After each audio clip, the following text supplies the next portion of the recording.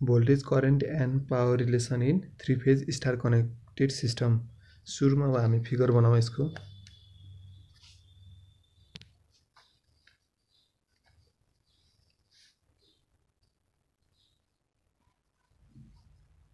यो एउटा रेजिस्टर हो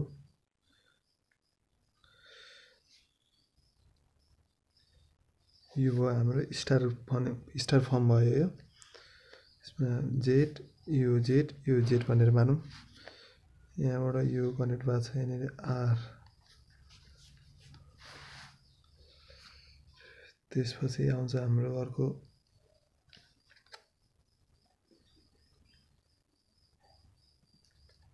बी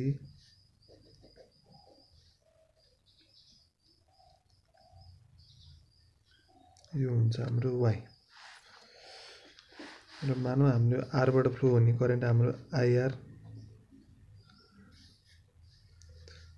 वाइबाट फ्लो हुने करेन्ट आइवाई र बीबाट फ्लो हुने करेन्ट हाम्रो आइबी यो हो हाम्रो फेज करेन्टहरू र यो पोइन्टले न्युट्रल पोइन्ट भन्छ र यहाँनिर न्युट्रलबाट फ्लो हुने करेन्टलाई हामीले मान्न सक्छौँ आइएन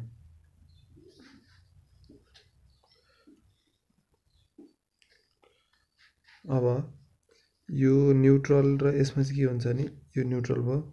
न्युट्रल र यो रेड बिचको भोल्टेजलाई मानौँ भिआरएन यो न्युट्रल र येल्लो बिचको भोल्टेज भिएनवाई र यो न्युट्रल र ब्लु बिचको भोल्टेज भिबिएन यो भयो हाम्रो थ्री फ़ेज़ को यो स्टार कनेक्टेड सिस्टमको फिगर बनाउने तरिका? र यो फिगरमा हाम्रो के छ भने यहाँनिर लाइन भनेको एउटा लाइन दिएको छ। एउटा लाइन करेन्ट यो आइबी आइवाई आएको छ। अर्को लाइन करेन्ट भनेको हाम्रो यहाँनिरबाट गइरहेको छ। आइबी करेन्ट गएको छ।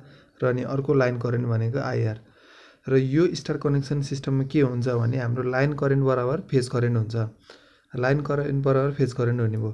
र यसमा के भयो भन्दा तिनवटा यो थ्री फेजको सर्किट हो तर यसमा लाइन कतिवटा छ भने वायर कतिवटा छ? फोर चारवटा वायर छ। यसलाई के पनि भनिन्छ भने three phase four wire star connected balance system पनि भनिन्छ।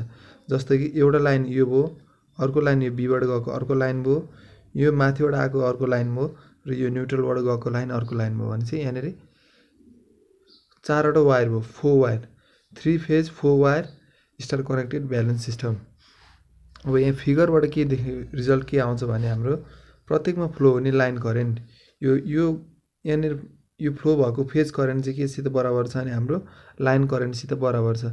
किनकि यो एउटा लाइन करेन्ट हो र यो आफैमा एउटा फेजमा छ। भनेपछि phase current equals to line current भनेर भन्न मिल्यो। Line current equals to I phase भनेपछि IR equals to IY equals to IB equals to IL भनेर लेख्न मिल्ने भयो हामीले। अब अब हामीले के गर्नुपर्छ भने फेज सिक्वेन्स भनेको जहिले नै आरवाइबी भनेर सपोज गरौँ। Phase sequence RYB red yellow र ब्लू यसरी सिक्वेन्स सपोज़ यो भोल्टेज यो त फ़ेज़ भोल्टेज हो। फ़ेज़ भोल्टेज बिट्विन आरएन चाहिँ के हुन्छ भने VRN equals to V phase phase angle zero degree हुन्छ। भिवाइएन भिवाइएन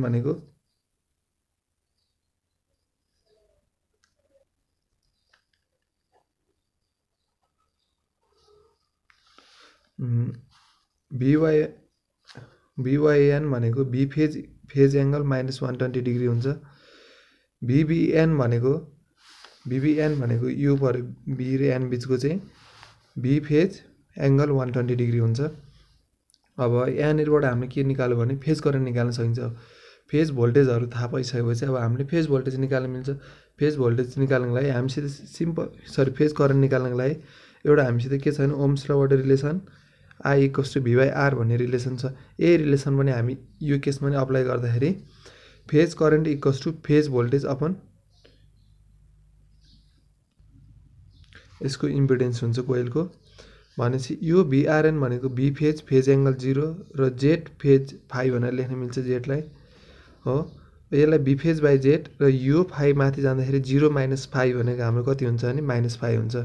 सिमिलरली आइवाई निकाल्नु पऱ्यो भने भिवाइएन यो भिवाइएन अपन जेड यो भनेको VYN phase angle minus one twenty degree यसमा जेड फाइभ यसलाई माथि लाँदाखेरि बिफेज बाई जेड र माइनस वान ट्वेन्टी माइनस हुन्छ।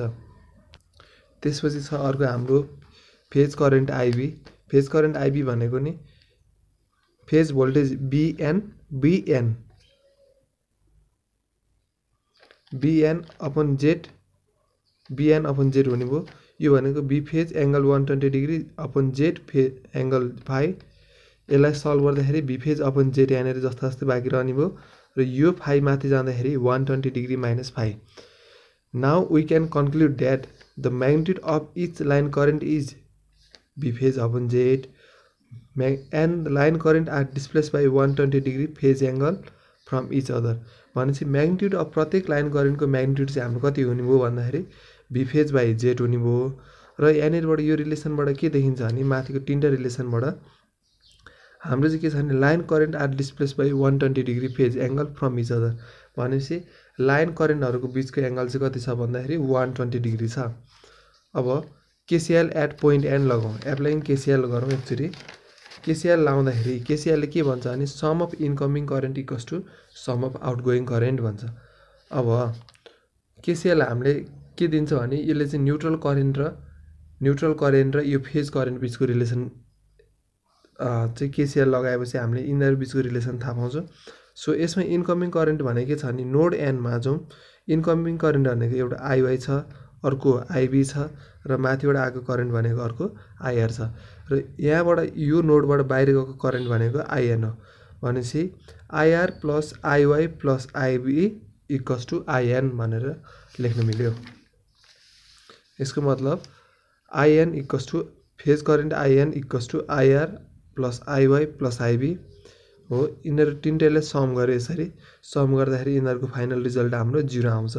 यहाँबाट के थाहा पायो भने phasor sum of line current is equal to zero phasor sum of line current is equal to zero यो रिजल्टसम्म आइसकेपछि अब हामी जाउँ फेजर डायग्राममा सुरुमा छ अब steps to draw phasor diagram एउटा स्टेप वान छ पहिले सुरु फेजर भोल्टेज र फेजर करेन्ट बनाउने र स्टेप टूमा के गर्नुपर्छ भने हामीले लाइन क्वान्टिटिजहरू बनाउनुपर्छ। यो बनाउनको लागि एउटा पोइन्ट लिउँ सुरुमा र तिनवटा लाइन ड्र गरौँ। एउटा यो लाइन एउटा अर्को लाइन र यो अर्को लाइन यो र यो तिनवटा लाइनको बिचको एङ्गल चाहिँ हामीले मानौँ वान ट्वेन्टी डिग्री छ भनेर। यो सुरुकोलाई हामीले नाम दिउँ भिआरवाई यसको नाम दिउँ हामीले भिवाइबी र यसको नाम दिउँ हामीले भिबिआर यति ड्र गरेपछि अब स्केल लिउँ। स्केल लिएर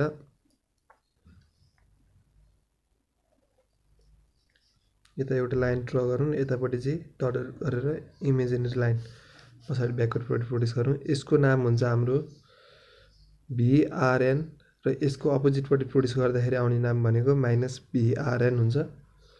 सिमिलरली यो भिवाइबी पछि अर्को नै एउटा लाइन ड्र गरौँ एउटा।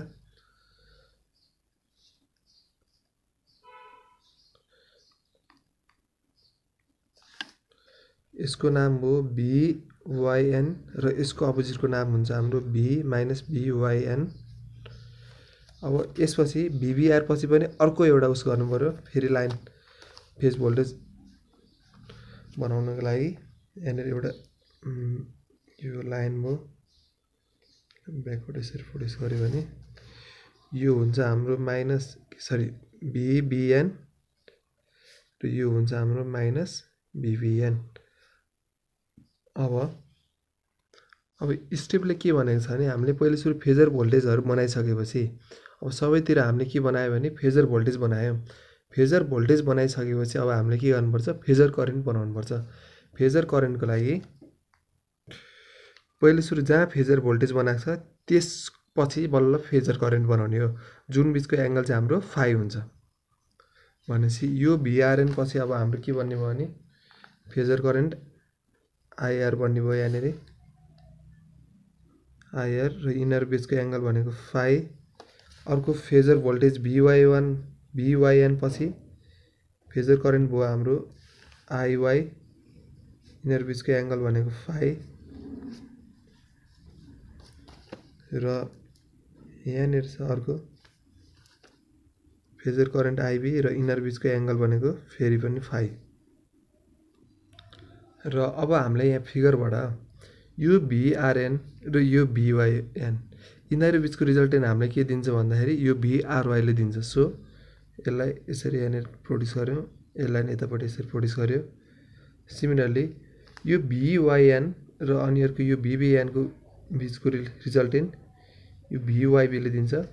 सो यसलाई पनि यसरी जोइन गरौँ। सिमिलरली यहाँ पनि यसरी जोइन भयो। र अब हामीलाई अर्को एउटा कुरा के थाहा छ भने यो एउटा फेज भोल्टेज भयो बिआरएन भनेको र यसको अपोजिटको र र अनि अर्को यो सँगसँगै यतापट्टि अर्को चाहिँ यो भिवाइएनको अपोजिट आएको छ हो यो फेज भोल्टेज। यसरी यी दुइटा फेज भोल्टेज बिचको एङ्गल हाम्रो कति हुन्छ भने एउटा अपोजिटबाट आएको र एउटा पहिला सुरु नै प्रेजेन्ट भएको फेज भोल्टेज बिचको एङ्गल भनेको जहिले पनि सिक्सटी डिग्री हुन्छ। र यो भिआरवाई र भिआरएन बिचको एङ्गल थर्टी डिग्री हुन्छ। सिमिलरली यसमा पनि यो भिबिएन र यो भिवाइएन एउटा अपोजिटबाट आएको यो माइनस साइन भएको र अनि अर्कोपट्टि यो माइनस साइन नभएको यिनीहरू बिचको एङ्गल भनेको साठी डिग्री हुन्छ र यो बिचको एङ्गल भनेको थर्टी डिग्रीको हुन्छ। सिमिलरली यहाँ पनि साठी डिग्रीको एङ्गल हुने भयो र यिनीहरू बिचको एङ्गल भनेको थर्टी डिग्री भयो। यो भयो हाम्रो फेजर डायग्राम। Phasor diagram. अब यहाँबाट हामीले के देख्न सक्छौँ भने यो भिआरवाई भनेको यो भिआरएन प्लस भिवाइएनको सम हो। मतलब भिआरएन भिआरवाई भनेको भिआरएन प्लस भिएनवाई यो भनेको भिआरएन माइनस भिवाइएन यसरी हुने भयो सिमिलरली भिवाइबी भनेको भिवाइएन भिवाइबी भनेको भिवाइएन प्लस यो भनेको भिएनबी र यसलाई कसरी लेख्नु मिल्छ भने भिवाइएन माइनस भिबिएन किनकि यतापट्टि माइनस साइन छ सिमिलरली भिबिआर भनेको भिबिएन प्लस भिएनआर यो भनेको भिबिएन माइनस भिआरएन अब फिगरबाट के गर्नु मिल्यो भने भिआरवाई भनेको के आएको छ भने हाम्रो भिआरएन प्लस एन भिएनवाई यो भनेको equals to VRN minus VYN अब यहाँनिर हामीले के गर्नु पर्ने रिजल्टेन्ट निकाल्नको लागि रिजल्टेन्ट निकाल्नको लागि के गर्नु सकिन्छ भने VRN square plus VYN square plus two one VYN cos sixty degree किनकि रिजल्टेन्टको फर्मुला हामीलाई के थाहा छ भने दुइटा भेक्टर ए भेक्टर र बी भेक्टर बिचको रिजल्टेन्टको formula A square plus B square plus two AB cos sixty degree cos theta हो? सो यहाँनिर के छ भने यो भिआरएन र भिवाइवानको बिचको एङ्गल भनेको हाम्रो सिक्सटी डिग्री हुन्छ। यो फिगरबाट अघि नै थाहा भइसक्यो किनकि यहाँनिर के छ भने भिआरएन र भिवाइएनको बिचको एङ्गल भनेको हाम्रो के दिएछ भने सिक्सटी डिग्री दिएको छ। सबैमा त्यस्तै हुन्छ। र कस सिक्सटी डिग्री भनेको one by two one by two two cancel out भयो। यहाँनिर यो भिआरएन भिवाइएन भनेको के हो? फेज भोल्टेज हो। त्यसलाई सो बी फेजले रिप्लेस गर्न मिल्छ यिनीहरूलाई।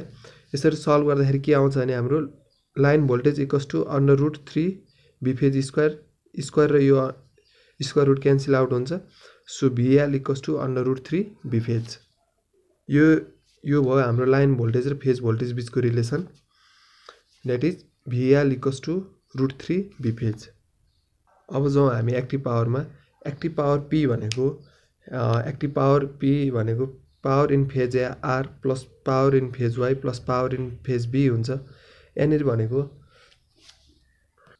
active power in phase R निकाल्नु पऱ्यो भने के हुन्छ भने फेज भोल्टेज आरएन र phase current IR times cos five हुन्छ। किनकि यिनीहरू बिचको एङ्गल फाइभ हो। Similarly VRN IR cos phi plus VYN IY cos five plus VBN IB cos five यो सबै भनेको त के हो भने यो यो भिवाइएन आइवाई भिबिएन आइबी भनेको त सबै फेज भोल्टेज र फेज करेन्ट हो। सो सबै यिनीहरूको ठाउँमा हामीले फेज भोल्टेज र फेज करेन्टले रिप्लेस गर्न मिल्छ। र यिनीहरूको सम गऱ्यो भने three phase V phase I phase cos phi हुन्छ। So power equals to three V phase I phase cos phi र हामीलाई के थाहा छ भने बी फेज भनेको भिएल बाई रुट थ्री हुन्छ र आई फेज भनेको आइएल हुन्छ हाम्रो स्टार कनेक्सन सिस्टममा सो यसलाई सल्भ गर्दाखेरि यहाँबाट आउँछ हाम्रो power equals to total active power equals to under root three VL IL cos phi similarly reactive power भने चाहिँ क्यूले डिनोट गर्छ। रियाक्टिभ पावर भनेको Q equals to QR plus QY plus QB हो। यसमा के हुने भने रियाक्टिभ पावरमा चाहिँ के आउँछ भने हाम्रो एक्टिभ पावरमा कस आउँथ्यो भने रियाक्टिभ पावरमा हाम्रो साइन आउँछ। भिआरएन आइआर साइन फाइ माथिको जस्तै प्रोसेस हो सबै र यहाँनिर कस फाइको ठाउँमा हामीले सिर्फ साइन फाइ राख्ने हो। Plus VYN IY sine phi plus VBN IB sine phi यसमा यो फेज भोल्टेज र फेज करेन्टलाई सबैलाई हामीले बी फेज र आई फेजले रिप्लेस गर्न मिल्छ र यी सबैले एड गऱ्यो भने हाम्रो Q equals to three V phase I phase sine phi हुन्छ। बी फेज भनेको VL by root three I phase भनेको IL so Q equals to यसलाई सल्भ गर्दाखेरि आउँछ हाम्रो. Root three VL IL sine phi भनेपछि अब कन्क्लुजनमा के गयो भने हाम्रो लाइन स्टार कनेक्सन सिस्टममा हाम्रो line current equals to phase current हुन्छ। Line voltage equals to root three time phase voltage line voltage are one twenty degree apart and also are the phase voltage line voltage भनेको line voltage र phase voltage पनि के हुने भयो एक सय बिस डिग्री अपार्ट हुन्छ। र अनि अर्को भनेको line voltage leads the corresponding phase voltage by thirty degree. भनेपछि